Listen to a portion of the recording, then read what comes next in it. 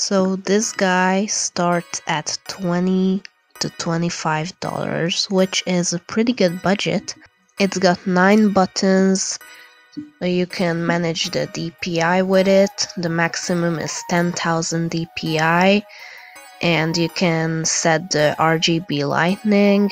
And it's also got a little mode switch that will give you even more RGB um, settings so you can change that.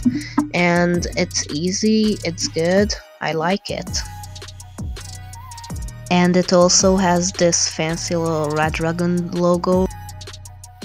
Don't worry guys the flashing on the RGB lightning right there is only on the camera so that won't happen to you. There are five DPI settings. You can put it to extremely slow slow um, normal, I guess, faster, and the 10,000 DPI, the super fast setting. On the back of the mouse, it just shows the name, the the type, the model, the mode switch I told you about, and the 10,000 DPI logo with the Redragon logo there.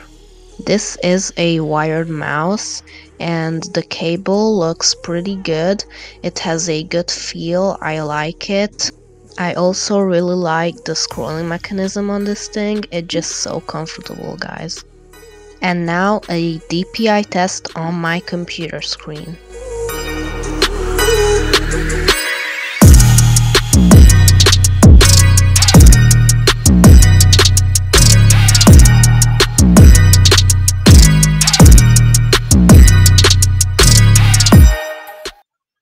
So guys, overall, if you don't have any gaming mouse, then I would really, really recommend this and I got to give it a 10 out of 10, guys.